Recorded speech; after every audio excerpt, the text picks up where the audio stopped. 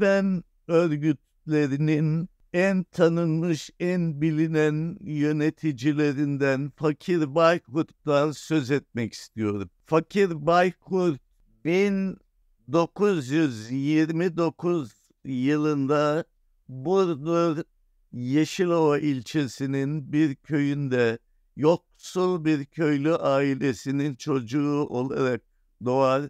İlkokulu çalışmak zorunda kaldığı için bırakır sonra yeniden bulduğu iş yeri kapanır, köyüne geri döner, okulu bitirir.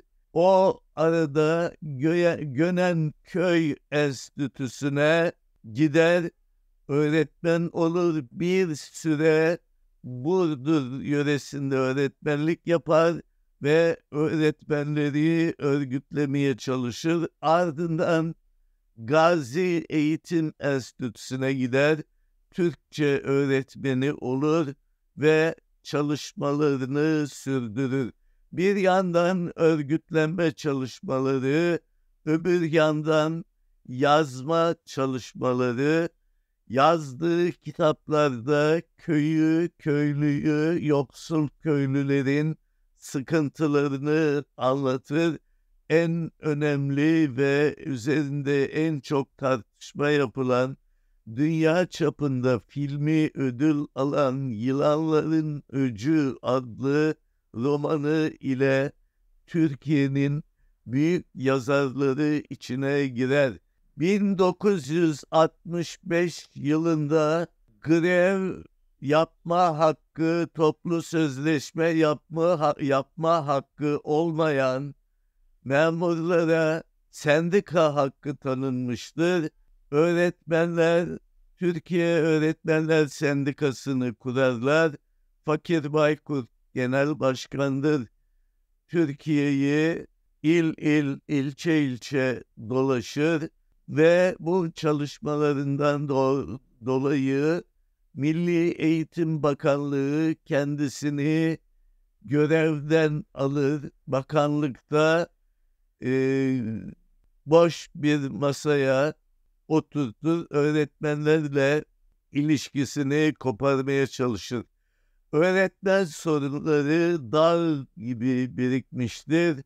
Fakir Baykur öncülüğünde öğretmenlerin dört günlük büyük grevi başarıyla yapılır. 75 bini aşkın öğretmen bu greve katılır.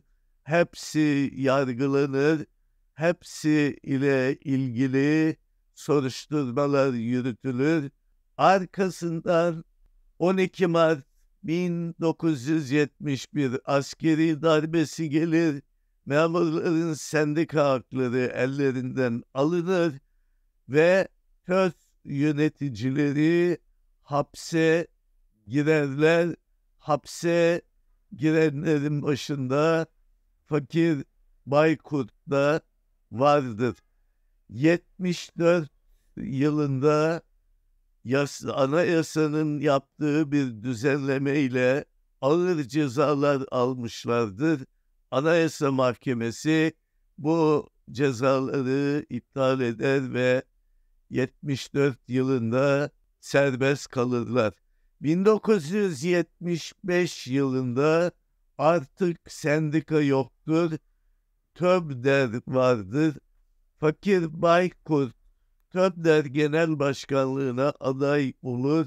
Ben Cemil Çakır başkanlığında düzenlenen listede yer aldım ve e, Cemil Çakır genel başkan olarak seçildi. Fakir Baykurt'la 69 yılında ben öğrenciydim. Grevde, dört günlük grevde tanışmıştık. Biz de bir grup öğrenci olarak greve destek verdik. Nasıl destek verdik? Grevin çuval çuval bildirilerini herkes kendi iline, ilindeki TÖS şubesine ulaştırmakla görevlendirilmişti. Biz bu görevlendirmeyi iyi örgütledik, eksiksiz her ile e, öğrenciler, geleceğin öğretmeni olan öğrenciler bildirileri yerlerine ulaştırdık ve e, TÖS şubelerinde nöbet tuttuk, verilen görevleri yaptık dört gün boyunca. Bu yüzden tanışıyorduk. İyi ki tanışıyorduk. Kendisini çok severdim, çok sayardım.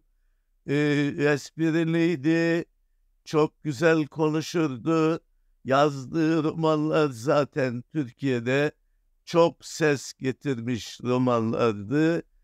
12 Eylül 1980 Kenan Evren'in bizim çocuklar başardı diye Amerikan devlet başkanı Jimmy Carter'ın 12 Eylül darbesinin hemen e, öğle saatlerinde söylediği söz ilginçtir. Kenan Evren'e bizim çocuklar ve yanındaki dört generale diyor Jimmy Carter bizim için bizim çocuklar deseydi e, bizim utancımızdan ve üzüntüden yerin dibine girmemiz gerekirdi. Amerikan çocukları olan bu generaller bizi vatan hainliğiyle suçlamışlardı. Biz 3 yıl, 4 yıl, 5 yıl hapiste yattık hepimiz. Mamak cezaevinin ağır koşullarında Köbder yöneticileri olarak ve biz çıktıktan sonra ki yargılanmamız devam ediyordu. Beraat ettik ama Kenan Evren ölmeden önce vatan hainliğinden ve birçok işkenceden sorumlu olarak müebbet hapse mahkum edildi, rütbeleri alındı, er bile olamaz durumda öldü.